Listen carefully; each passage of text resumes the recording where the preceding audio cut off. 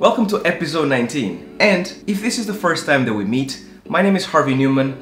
I'm a professional animator and I like to share my passion for animation here in this channel with all of you.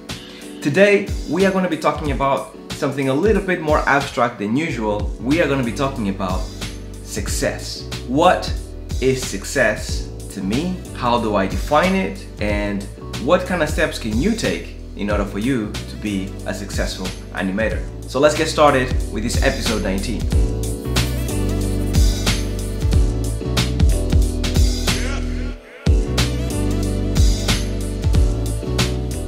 So what is success? Because it's very abstract and what is success to me is definitely not what is success to you. So when I used to look like this and I was 18, I used to actually think that success for me was all about being an artist, making it as an artist, being recognized by my peers and being recognized out there. Things have changed over the years because you start achieving certain things and you start becoming more confident and you're starting to pay attention to what really matters in life. So now I'm about to turn the wise age of 39 uh, in about a month's time. and to me, success right now looks much more like this.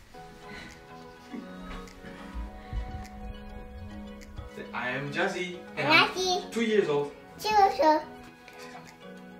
Can you say it loud? Wow. Like, uh, hello, I'm Jasmine. Can you say- Jazzy.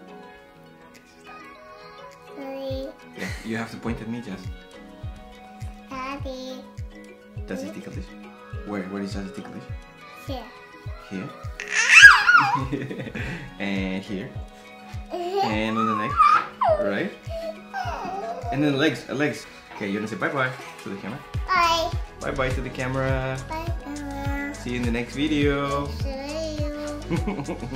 As you grow older, obviously, you start realizing what is truly important in your life. And there's nothing more important than family. And all of your achievements and all of the things that you work on, they are nothing if you don't have someone that you love next to you, kind of supporting you and giving you props for it. So that is success to me now. Having said that, because I have spent the last 29 years, 30 years trying to find a way to be successful, I picked up a lot of uh, tips and tricks on how to be successful in a way. Like, it's not that I set out to do those tips as in this is a manual on how to be successful. It's just things that I have applied myself throughout my life that have been very useful to me in achieving certain things. So things that I applied when I created my hip hop blog, The Word is Bond, which is now quite successful as an underground hip hop blog. Things that I've applied when I started pursuing my career in animation. Things that I've applied now to this YouTube channel. Things that independently of what you're doing or where you are in life will definitely help you to push you through either uh, artistic blocks, things that will help you to kind of just carry that momentum forward which I think is really important when you're really trying to pursue something, when you're really trying to kind of uh, achieve something big, like being an animator, being an artist. And I do think that you need a set of rules that you kind of have to kind of uh, stay put with throughout the years in order to make it. So here's the few things that I reckon it will help you guys on the long run.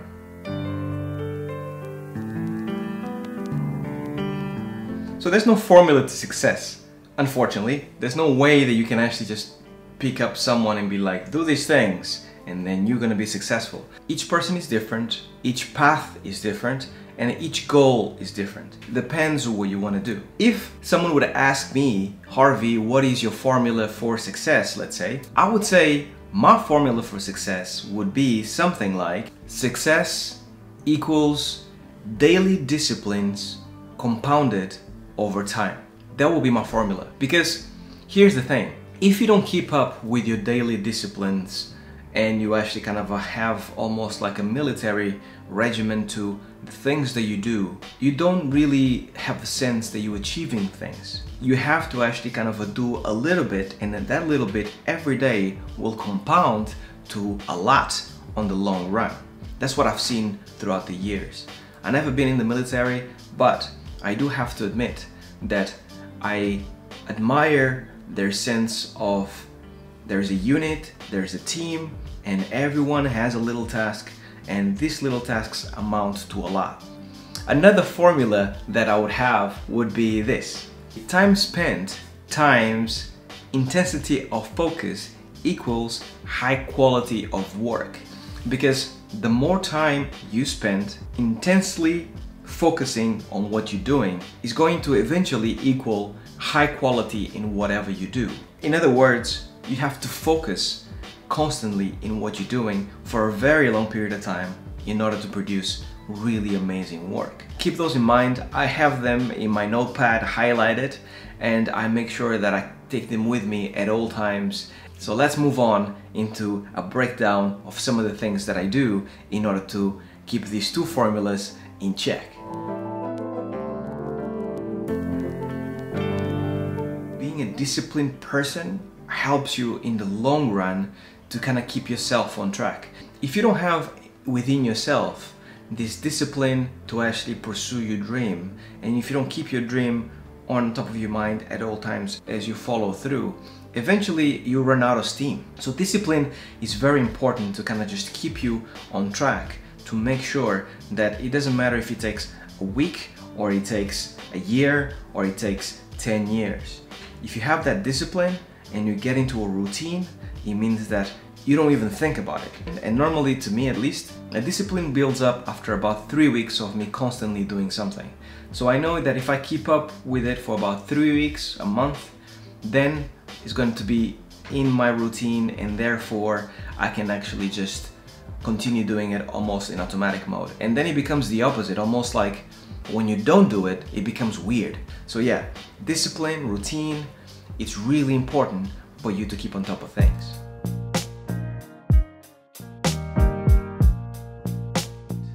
So as you start your journey as an animator, as an artist, anything that you actually decide to do, I'll suggest for you to do two things. First, do a journal that you can write down your thoughts, your ideas.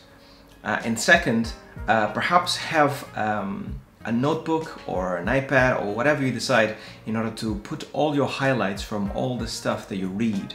If you haven't watched my video about the top books for animators, make sure to check it out. I also talk about uh, the tips to my younger self, which is always reading books.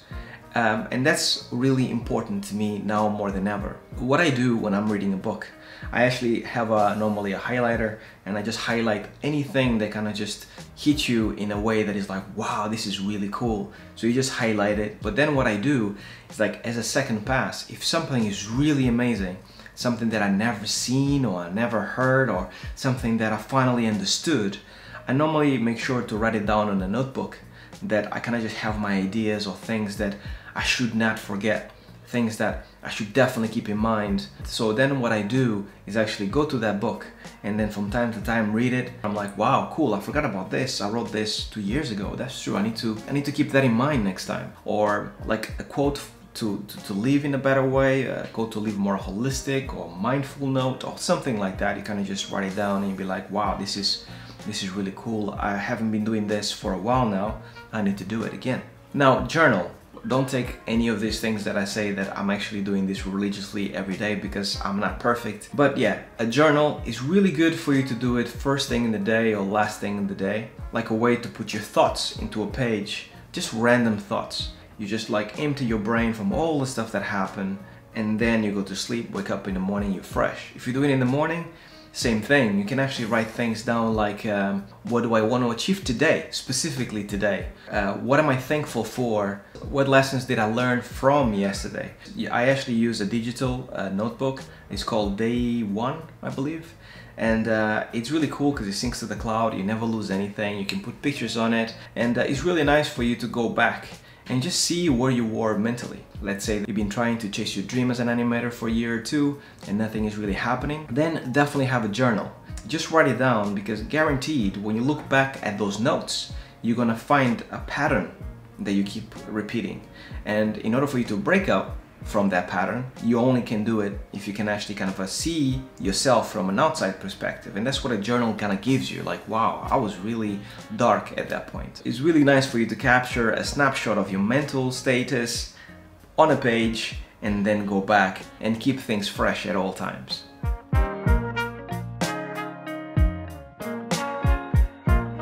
So, willpower is yet another piece of this puzzle that it's not the same for everybody.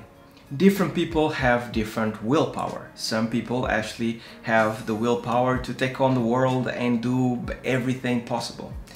And that's nice. Some people don't really have a strong willpower to do very many things. And that's okay too. There's no right or wrong here. What I'm saying is this.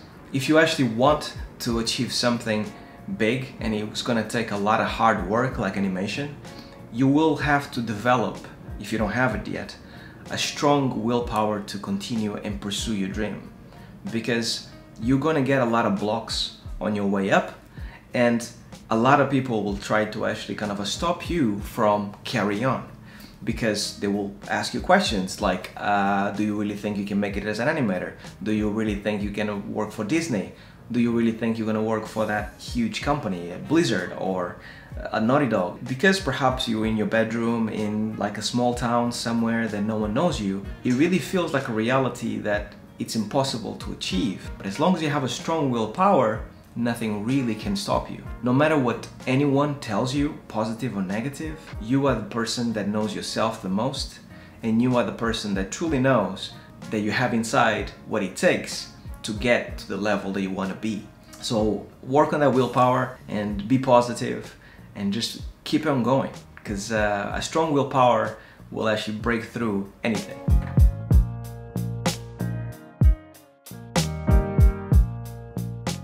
So drifting, this is something that a lot of people do and I think they do it unconsciously. They don't really realize that they're doing it, but they kind of just drift through life without really having an aim or goal.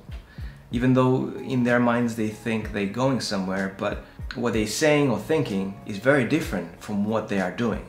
So they just drift and they just hope to get to somewhere that they want to be.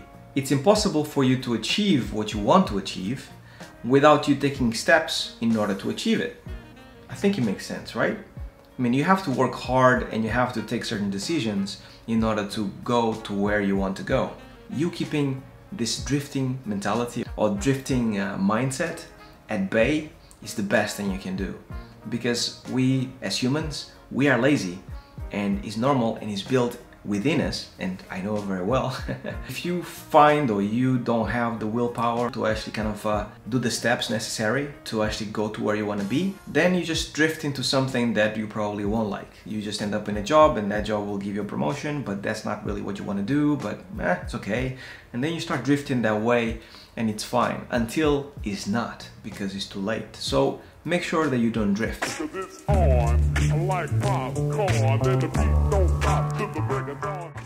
So what is vision? Vision is almost the opposite of drifting. You have the vision to map out exactly how you're going to achieve your dreams, the steps that you're going to take in order to actually get to the point that you want to be. Think long game and think about what you have to do in the immediate future in order to achieve your dream, but also what kind of steps you have to take on the long run. That vision to actually kind of be like, ultimately I want to be making games. I want to be a games director. I want to own my games company. I want to be the CEO of Sony.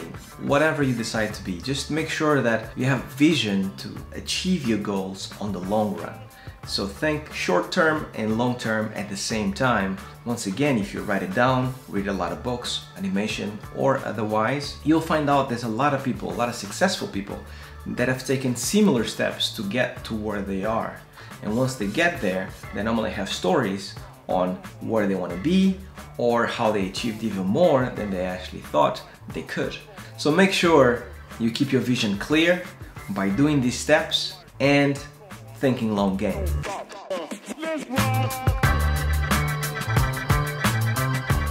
So goals are important and are going to be the thing that is going to get you to that vision, to that thing that you actually want to be. Instead of keeping your goals in your mind all the time, you need to actually constantly do a brain dump of goals into somewhere that you can visually see. Because To me, at least, I feel like goals is something that needs to be a visual thing. You need to actually put it, let's say, in a board right above where you work. Make sure that you can see them because if they're in your mind, it means that they're occupying space that they shouldn't really because you need to use your mind for other things. But make sure that you do define your goals, you define them early, and your goals will change and you'll have new goals. The beauty of it is the previous goals have informed you in how your goals have changed. So it's gonna feel better and better. It's almost like you're kind of chaining up goals. You have, I have this goal and I have this goal. I've achieved three out of five. Therefore, I'm gonna go over here. Now I have these other goals. And then you do those and then you see where it goes. But you have to map them out in order to actually achieve something of substance in a way. We talked about all these things that you can do and plan and write up to this point. We are just planning. Now it's time to execute. So all of these things that you wrote down, no matter how much time you spend thinking about, okay, so I work this way, therefore I'm gonna have like a diary here on my phone and I'm gonna have this paper. No matter how much you think about it, if you just put it on a piece of paper and you do nothing, it becomes nothing. So you have to execute on those things. That's the most difficult part and this is why people drift. This is the bit that requires the most effort, especially if it's an execution that is gonna take years in the making, like a career in animation. You have to actually kind of uh, keep on executing and make sure that you see execution almost like going to the gym. I'm pretty sure all of you can relate. Going to the gym is difficult in the beginning. It's a chore, you don't want to do it, it's horrible, you sweat, after about three weeks to a month, then your body starts to feel good and you're like, man, this is actually good, I like it. And then it almost becomes addictive because you just want to do it all the time. So that's what you need to do with this execution of all your planning. You kind of do your lists, you organize everything as best as you can, you dump all the information off your brain, you put it somewhere organized that you can see, and then you execute. And you do that often. And once you do that often, you realize that you're gonna feel great. We are wired to be productive. We are also wired to be lazy. But if you lean on the productive more than you lean on the lazy, eventually you're gonna be addicted to being productive all the time. And when your productivity it's organized in this way, I found that I can do so much more than I ever thought I could and I can do it at a much higher level than I thought I could. So this is why execution is so important and why you should do it all the time. This is the one step that I think people fail the most. That's the only thing that is separating the people that are successful from the people that are not. Execution.